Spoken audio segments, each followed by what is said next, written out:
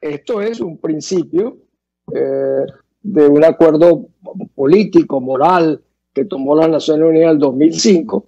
Yo creo que un poco como un propósito de enmienda por las barbaridades que permitió en Ruanda, que permitió en Bosnia, que permitió en Somalia. Pero evidentemente que invocar algo así es igual que yo invoco la Carta de las Naciones Unidas. Yo incluso, Pedro, ahorita estoy escribiendo un capítulo sobre el tema de Bosnia y encuentro que los miembros del Consejo Permanente no querían nombrar la palabra genocidio en Bosnia porque pensaban que los podría comprometer. Y eso viene del año 1948, donde se decía que el genocidio era el crimen de los crímenes. Y sin embargo, no es obligatorio, eh, no basta con invocarlo. Y eh, lo único positivo que me parece es que eh, se dio una luz verde, es como decirle al mundo, mire, aquí estamos en una situación, estamos en manos de criminales de la humanidad, aquí pues, vengan y ayúdenos de todas las maneras que ustedes encuentren posible. O sea, sí se le da una luz verde. Evidentemente, para esa luz verde no será la comunidad internacional, pero eventualmente, y ojalá pudiera ser una alianza de, países, eh, como que siempre que los Estados Unidos formen parte, Pedro, porque la comunidad internacional para mí está reducida hoy en lo que respecta a nuestro futuro. en el pasado, cuando se ha aplicado o se ha utilizado el principio de la responsabilidad de proteger, recuerdo Libia fue un caso eh, donde se aprobó y se aparece mencionado eh, en la parte resolutiva. sin embargo, luego a partir de eso, por ejemplo, Rusia y China dijeron, este principio está equivocado, lo que están haciendo es utilizarlo para invadir países, o sea, invocar la protección y la asistencia humanitaria con el fondo lo que quieren es desalojar a un régimen y de ese momento se convirtieron en los adversarios de esa política. Esa es la verdad. Ahora, tú no puedes invocar la responsabilidad de proteger e ir al Consejo de Seguridad, donde no tenemos la menor posibilidad. Pero no podemos olvidar que cuando eh, Irak invadió Kuwait, el presidente Bush de los Estados Unidos, que podía haberlo hecho solo con las Fuerzas Armadas de su país, armó una alianza de 34 países formidable y sacaron a palos a Hussein. O sea, una alianza de los que tengan la voluntad. Los americanos llaman de Alliance of the Willing. Bueno, en Venezuela fue una alianza que fue Brasil, Colombia, Surinam, Guyana, países limítrofes nuestros con los Estados Unidos y otros. La ventaja que tiene la alianza es que no limita a la región, no tienen que ser América Latina, pueden ser europeos, puede ser Alemania, Inglaterra, etcétera. O sea, es y esto eh, sería evidentemente una probabilidad que podemos tener en cuenta. Fíjate, es cierto, yo durante mucho tiempo, la gente gustaba hablar de tableros, y yo decía, yo prefiero el tablero venezolano. Es igual que cuando hablaban de la Iglesia Católica, yo decía, yo prefiero el tablero de la Iglesia Católica venezolana que el del Vaticano, donde se ven otro tipo de intereses globales que acaban muchas veces perjudicándonos a nosotros o no ayudándonos. Igual en el caso regional. Eh, pero tú has señalado algo eh, el, el, valor de nuestras acciones, para ponerle un término crematístico, hace un año es muy distinto al que tenemos hoy en día. Es una depreciación.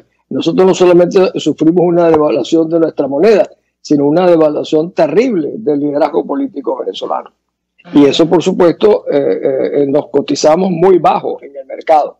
Entonces, la confianza, la credibilidad que puede haber en que nosotros seamos capaces de rescatar nuestra libertad y qué vamos a hacer nosotros con nuestra libertad es un punto a considerar. Muchos países comienzan, por ejemplo, tal vez eh, yo insistía mucho en lo regional, Pedro, por un tema.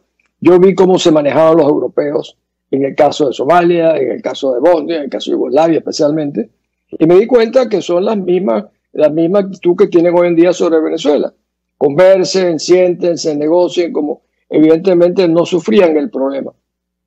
Y eh, vi que si en el medio de Europa eran capaces de matar a 200.000 yugoslavos, bosnios, y, y, desarraigar a un millón de personas y violar a 20.000 mujeres, si eso pasaba a dos horas de París o dos horas de Londres, imagínate lo que les preocuparía o no que esto sucediera en Venezuela, que es lo que está planteado en este momento, donde tenemos al señor Borrell, que más que el señor Borrell es el gobierno de España, el gobierno socialista de España, es la tripleta, eh, los pondré en el orden correspondiente, Rodríguez Zapatero, Sánchez, Pedro Iglesias, en el cual eh, Borrell es el instrumento y sigue en, el fondo burlándose de la comunidad europea porque actúa como un agente ejecutor de la política del gobierno socialista de España y no como el ministro de Relaciones Exteriores. La primera consideración que yo haría es la siguiente. Nosotros, desde la época de Adolfo Suárez, Felipe González, Aznar, etcétera, España era el interlocutor representativo, legítimo de América Latina.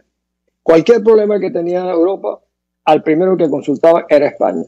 Desgraciadamente, ahora cuando consultan España, tenemos a una España convertida en un eh, compañero útil o un cómplice útil del régimen venezolano, manipulado por Pablo Iglesias, por Rodríguez Zapatero, por Sánchez y ahora por, por el señor Borrell.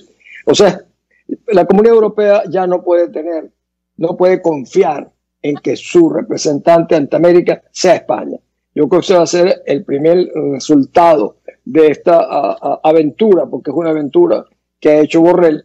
Eh, incluso veo en la carta de Borrell, donde él un poco pide excusa a la comunidad, dice que él vino atendiendo la solicitud de Juan Guaidó y, lo, y dice presidente del grupo del G4 y de la Asamblea. O sea, a pesar de que menos, son, todos los países de la Unión Europea, salvo dos, no reconoce el gobierno de Guaidó, él habla de él como presidente del G4. E incluso la misión que acaba de estar en Venezuela habla de Guaidó como presidente de la Asamblea. O sea, a pesar de que tantos países lo reconocen, ellos se niegan. O sea, es, una, una, demostración clarísima. Y los dos funcionarios que mandó Borrell fueron dos diplomáticos españoles. O sea, el abuso que ha hecho el gobierno español, la extralimitación de, de Borrell, pero te repito, no es Borrell, Borrell es un instrumento, es la tripleta española que... O sea, yo creo que en el fondo ha resultado positivo, porque eh, la visión de España, de, la Unión Europea, sería que en Venezuela en seis meses eh, solventamos todos los problemas, no hay muertos, no hay ajusticiamiento, no hay asesinato, no hay tortura, pero sí hay un proceso electoral. Curiosamente, te no, me lo has preguntado, pero conociéndote sé que lo tienes en mente. Venezuela, de los cuatro partidos que gobiernan interinamente, tres son socialistas, tres son del mismo partido del gobierno español y no he oído a ninguno de ellos pronunciarse. En el fondo yo entiendo que uno de ellos, a voluntad popular, resulta muy difícil pronunciarse, incluso el mismo Guaidó, que es de voluntad porque su jefe político está de huésped en la embajada española. Eso hace que incluso tengan como rehén al, propio gobierno interino, es un rehén. Eh, a eso se le suma el hecho de que están respondiendo a intereses de solidaridad partidista y no a intereses nacionales del rescate de la libertad en Venezuela. Eh, fíjate que el propio, eh, el propio informe se vería de, de, la misión de verificación de los hechos en Venezuela tendría que ser el instrumento para que Guaidó y compañía le hubiesen respondido a, a, Borrell. Y si no, ustedes no se están dando cuenta de que son criminales de lesa humanidad, ¿cómo usted piensa que en seis meses usted va a solventar, va, usted está diciendo, quieren contribuir a blanquear la narcotiranía venezolana, que ahora ya no es simplemente eh, de narcos, ni los persiguen los Estados Unidos, no, los persigue el mundo a llamarlos criminales de lesa humanidad. Entonces, yo te diría, es un momento triste, incluso para la militancia de estos partidos nuestros, que sus directivos no se pronuncian. Y es terrible que el propio presidente eh, encargado, Guaidó, no lo haga de una manera clara y determinante, te repito, por esa condición de que son rehenes de España al estar eh, hospedados en la embajada española. Yo lo lamento, pero esa es la realidad.